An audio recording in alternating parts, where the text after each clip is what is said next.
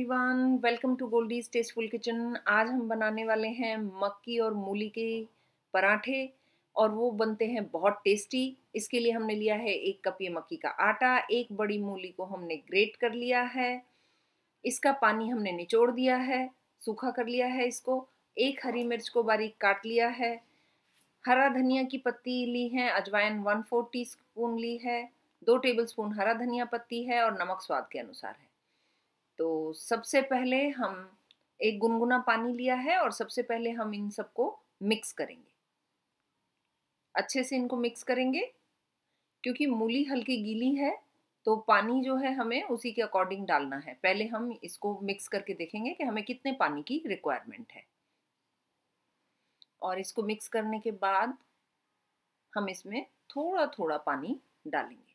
हाथ पर लेकर आप डालें थोड़ा थोड़ा पानी और इसका सॉफ्ट डो हम लगाएँगे। इसको अच्छे से चिकना करेंगे।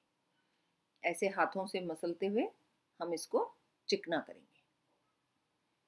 देख रहे हैं ना आप? थोड़ा थोड़ा पानी डाल के और ऐसे हमें, जैसे गेहूँ की रोटी का आटा लगाते हैं, वैसे नहीं लगाना। ये इस तरह से मुक्की से हमें, हथेली से हथेली से प्रेशर देते हुए इसको हमें मथना है, चिकना करना है। तो ये दोबारा से थोड़ा सा पानी हमने डाला है, जहाँ पे सूखा आटा है। और इसको ऐसे हाथ से मथेंगे। सारे आटे को इकट्ठा कर लेंगे और इस तरह से उसको हाथ से चिकना करेंगे। जितना अच्छा आटा लगा होगा, उतनी ही अच्छी इसकी रोटी बनेगी। तो ये देखिए, आटा जो है वो लगना शुरू हो गया है। देख सकते हैं आप, अब आटा बिखर नहीं रहा है और ये चिकना होना शुरू हो गया है। इसमें हमने गेहूँ का आटा नहीं डाला है, यानी डायरेक्ट मक्की के आटे से हम बना रहे हैं। ये देखिए, कुछ इस तरह से ये आटा तैयार हो जाता है।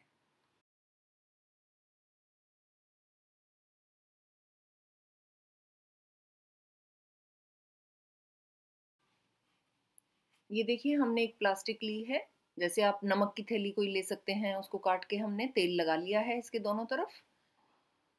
चकले पर रख लें उसको और लोई बनाकर जितनी बड़ी आपको रोटी बनानी है, उसकी ऐसे लोई बना लें अच्छे से। ये देखिए, मैंने थोड़ा सा छोटा लोई ली है और ये देखिए, बहुत अच्छे से ये बन गई है, स्मूथ हो गया है। अब हम इसको हाथ से ऐसे दबाएँगे, हल्का सा गोल करेंगे और इसको ऊपर से इसे प्लास्टिक से कवर कर देंगे और बेलन की सहायता से हम इसको बढ़ाएँगे। बेलन से हम रोटी बनाएँगे। आप हाथ से भी बढ़ा सकते हैं और इस तरीके से आप बहुत आसानी से ये रोटी बना सकेंगे। देख रहे हैं ना आप कितनी अच्छी, जितनी पतली आप बनाना चाहें उतनी पतली रोटी बन जाएगी। तो हमने ये अच्छी बड़ी सी रोटी बना ली है। इसमें आपको कटा हुआ धनिया दिख रहा है, मूली ग्रेटेड दिख रही है और बहुत टेस्टी बनने वाले हैं ये। और जब हम इसको निकालेंगे तो हाथ पे ऐसे रख के रोटी को ऐसे पलट लेंगे। तो इससे क्या है, रोटी टूटेगी भी नहीं और बहुत आसानी से निकल जाएगी। अब हम इसको तवे पे डाल देंगे। तवा ऑलरेडी हमने गरम करना रख दिया था। हम मीडियम फ्लेम पर ही इसको सेकेंगे। ये मेरा फ्यूचरा का तवा है, थोड़ा हैवी है। एक लोई हमने और बना ली है इस तरह से। जब तक रोटी सिकती है, मैं इसको हाथ से बढ़ाकर बताती हूँ। ये देखिए, अंगूठे और उंगली की सहायता से हम इसको ऐसे लोई को थोड़ा फ्लैट कर लेंगे और ऐसे हाथ से इसको बढ़ाएँगे। तो जिनको हाथ से आती है, वो हाथ से बना सकते हैं। मैं एक आपको हाथ से बनाकर दिखा रही हूँ। इस तरह से। यानी रोटी पराठा आप जो भी बनाना चाहें, कितने अच्छे से बन गई है। हमने रोटी को पलट लिया है। ये देखिए। और दूसरा तवा मैंने रख दिया है। इसके ऊपर मैं सूखा आटा डाल रही हूँ थोड़ा सा उससे क्या है? रोटी चिपकेगी नहीं। ये हमने इसको रोटी को लोहे के तवे पे डाल दिया है। तो दोनों रोटी हमारी जो है वो सिक रही हैं, आप देख सकते हैं। और ये मक्की का पराठा। रोटी पराठा, यानी आपने घी लगा दिया तो पराठा बन गया। और आप ऐसे सेक रहे हैं तो रोटी। ये ब्राउन थोड़ा सा जो निशान है वो आने शुरू हो गए तो अब हम इस पर घी लगाएँगे।